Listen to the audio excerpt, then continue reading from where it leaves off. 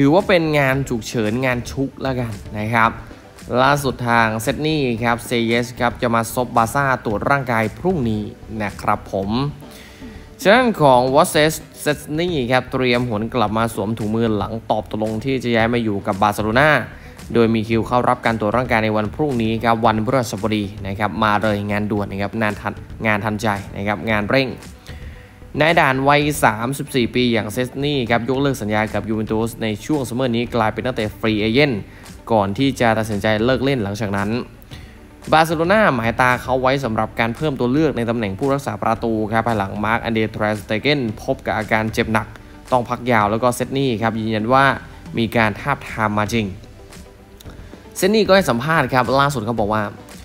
ผมเคารพในประวัติศาสตร์ของบาร์ซ่านะ เป็นอย่างมากเลย พวกเขาคือหนึ่งในสโมสรที่ดีที่สุดในโลก เออผมเข้าใจว่าเกิดสถานการณ์ยากลำบากหลังแทร์สเตเกนบาดเจ็บ และผมคิดว่าจะเป็นเรื่องไม่เคารพเลย หากผมไม่พิจารณาทางเลือกนี้เอา แล้วรายงานล่าสุดก็บอกว่าเชสนี่ก็ตอบตกลงที่จะกลายเป็นผู้รักษาประตูคนใหม่ให้กับบาร์ซ่าด้วยสัญญา 1 ปี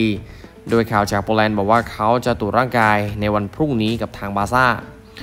เชสนี่ครับผ่านการเฝ้าเสาให้กับยูเว่ไปทั้งหมดนะครับ 252 นัด และกวาดความสำเร็จทั้งแชมป์ลีก 3 สมัย โคปาอิตาเลีย 3 สมัย ซูเปอร์โคปาอิตาเลียอีก 2 สมัย ฤดูกาลที่แล้วเขาเฝ้าเสาไป 35 นัด แต่ยูเวนตุสเลือกที่จะดันมิเคเล่ดิเกรโกริโอขึ้นมาเป็นมือหนึ่ง และเก็บมัตเตียเปรินนะครับเอาไว้ทำให้เชสนี่โดนปล่อยตัวเดิมทีครับเชสนี่เนี่ยตั้งใจจะเฝ้าเสาให้กับยูเวนตุสต่ออีกปีก่อนจะเลิกเล่น การยกเลิกสัญญาทำให้เขาเลือกวางมือทันที และแต่ตอนนี้เขากำลังจะกลับมาเฝ้าเสาอีกครั้งในฐานะของนักเตะบาร์เซโลนานะครับ โอ้โห ก็ถือว่าชะตามาโดนใจครับ บาร์ซ่าเลือกนายนะครับบอกว่าบาร์ซ่าเลือกนายแล้วกันสำหรับวอสเซียสเชสนี่นะครับผมชื่อก็อ่านยากจัด แต่เขากำลังจะมาแล้วครับ ตรวจร่างกายกับบาร์ซ่าในวันพรุ่งนี้ ก็ถือว่าเป็นงานฉุกเฉินนะครับหลังจากที่มาร์กอันเดรแทร์สเตเกนบาดเจ็บนะครับผมก็ถือว่าเซเยตเป็นที่เรียบร้อยครับ ก็รอแล้วกันนะรอเขามาแล้วก็ว่าจะเป็นยังไงในประตูมือฉุกเฉินนะครับต้องบอกว่ามือฉุกเฉินจริงๆนะครับผมยินดีด้วยนะบาร์ซ่ากำลังจะได้นายประตูคนใหม่เข้ามาร่วมทีมนะครับเพราะว่าเป็นฟรีเอเจนต์อยู่ด้วยนะฮะ อะเรามาตามข่าวสารกันหน่อยนะครับ มีข่าวลือบอกว่าแมนซิตี้เล็งไปที่ซูบิเมดี้เอามาทดแทนโรดี้ที่บาดเจ็บนะครับ รายงานจากเดียริโอสปอร์ตครับ รายงานบอกว่ามาตินซูบิเมดี้มิดฟิลด์ห้องเครื่องของเรอัลโซเซียดัดตกเป็นเป้าหมายการเสริมทัพของแมนซิตี้หลังการบาดเจ็บของโรดี้นะรายงานข่าวเมื่อวันอังคารครับบอกว่าเป๊ปกูเดล่ากุนซือของแมนซิตี้เนี่ยสนใจอยากจะเซ็นสัญญากับมาตินซูบิเมดี้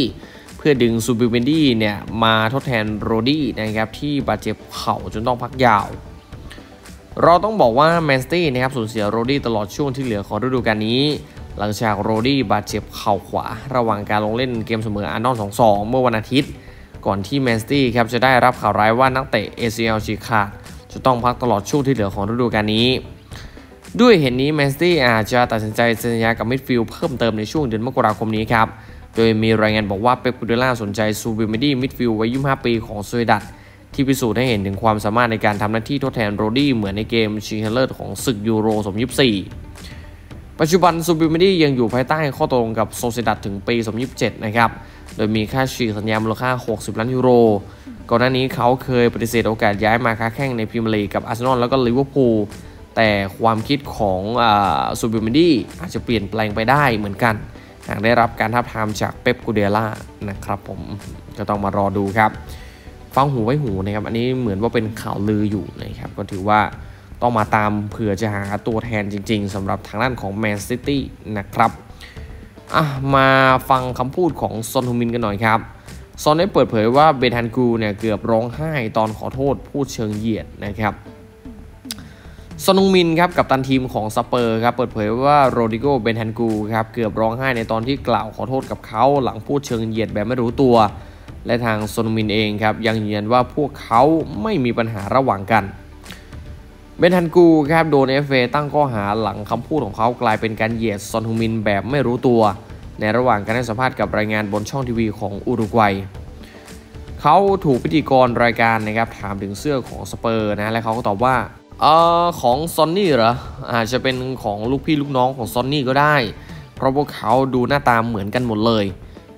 อันนี้คือคำของคำพูดนะครับของเบนทันกูร์นะครับแล้วเบนทันกูร์เนี่ยก็ได้กล่าวขอโทษผ่านทางโซเชียลมีเดียและยังขอโทษซนฮึงมินโดยตรงไปแล้ว แต่ก็อาจจะโดนทาง FA เนี่ยตัดสินว่าเขาผิดนะครับถ้าว่าโทษแบนหนักจริง เมื่อถามถึงเรื่องความสัมพันธ์ระหว่างเบนทันกูร์กับซนฮึงมินนะครับซนฮึงมินก็ตอบว่า ในตอนนี้ทาง FA กำลังดำเนินการสอบสวนอยู่ ผมเลยพูดอะไรมากไม่ได้ แต่ผมรักโรดริโกเบนทันกูร์ผมรักเขานะ เรามีความทรงจำที่ดีร่วมกันมากมาย เราเริ่มเล่นด้วยกันตอนเขายังร่วมทีม พอมันเป็นเรื่องขึ้นมาเขาก็ขอโทษทันทีในระหว่างเราพักร้อนกันอยู่ เขาอยู่ที่บ้าน เขาไม่ได้ตระหนักด้วยซ้ำว่าเกิดอะไรขึ้น เขาแค่ส่งข้อความยาวๆมาหาผม แล้วคุณก็รู้สึกได้เลยว่า มาจากใจของเขาจริง ตอนเรากลับมาสู่สนามซ้อมเพื่อโปรดิชั่นเขาบอกว่าเขาขอโทษและเกือบร้องไห้ เขาขอโทษผ่านสาธารณะและในแบบส่วนตัวด้วยเหมือนกัน รู้สึกได้จริง ๆ ว่าเขาเสียใจอย่างมาก เราทุกคนคือมนุษย์ เราทำพลาดกันได้ เราเรียนรู้จากความผิดพลาด ผมรักแบนเซนกู ผมรักเขานะ รักเขาเขารู้ว่าเขาทำพลาด แต่ผมไม่มีปัญหาอะไรเลยสักนิด เราเดินหน้ากันต่อในฐานะเพื่อนร่วมทีม เพื่อนพี่น้อง เราเดินหน้าไปด้วยกัน เราแค่เราฟังว่า FA จะตัดสินยังไง ผมพูดอะไรมากไม่ได้ แต่สิ่งหนึ่งที่ผมพูดได้คือผมรักเบนเซนกูดังนั้นไม่มีอะไรให้พูดมากไปกว่านี้โอ้โหพูดอย่างหล่อเลยนะครับสำหรับตีโซนฮึงมินนะครับบอกว่าไม่ได้ไม่ได้โกรธอะไร บางทีคำพูดนั้นน่อาจจะพูดออกมาโดยที่ไม่ได้ตั้งใจ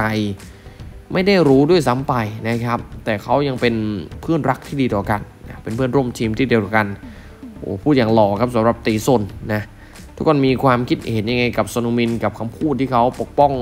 เพื่อนร่วมทีมอย่างเป็นทันกู ก็สามารถคอมเมนต์เข้ามาได้ครับ ขอบคุณครับที่รับฟังนะครับ ฝันดีราตรีสวัสดิ์บายบายวัยรุ่น